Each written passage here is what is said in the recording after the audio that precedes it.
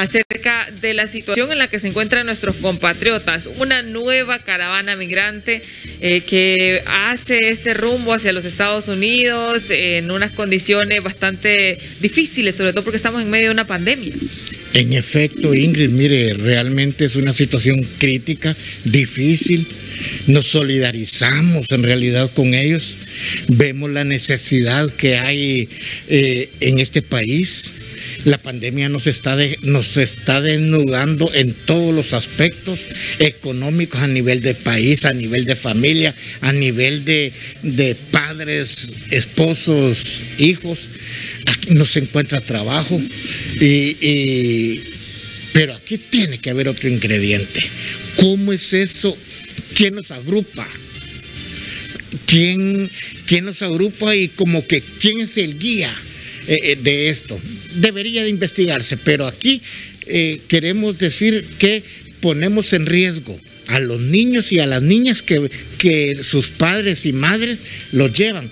La mayor parte de ellos los llevan por ser padres, no porque llevan un trámite eh, legal para sacarlos del país. Esa es otra situación muy delicada.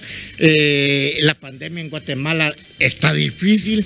El COVID puede ser presa de, eh, nuestros hermanos hondureños, pero en, fin, esto solo es el resultado de la desidia política que se viene arrastrando de muchos gobiernos que nunca hicieron nada por desarrollar eh, los departamentos, los municipios. Y mire, ahora estamos eh, migrando o inmigrando, saliendo del país de la forma como lo hemos visto eh, desde Choluteca y anoche de San Pedro Sula.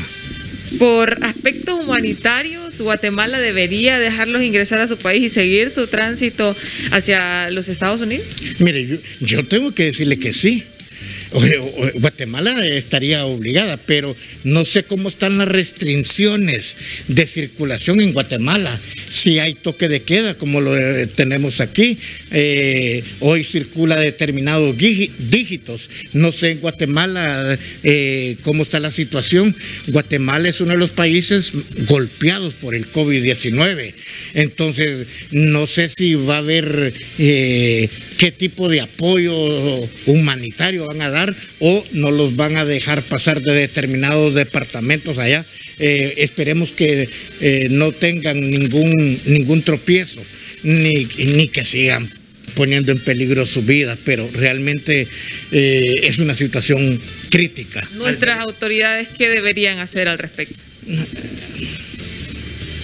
Ya ellos tomaron su decisión de irse. Lamentablemente aquí tiene que haber un replanteamiento de país para ver cómo se logra desarrollar municipios, departamentos, para que las familias tengan que comer en sus municipios, puedan desarrollarse como como familia y contrarrestar estos mares de hondureños que están saliendo del país de la noche a la mañana. Declaraciones de don Hugo Maldonado, defensor de los derechos humanos en nuestro país. Con las imágenes de Luis Zelaya retornamos a estudios principales.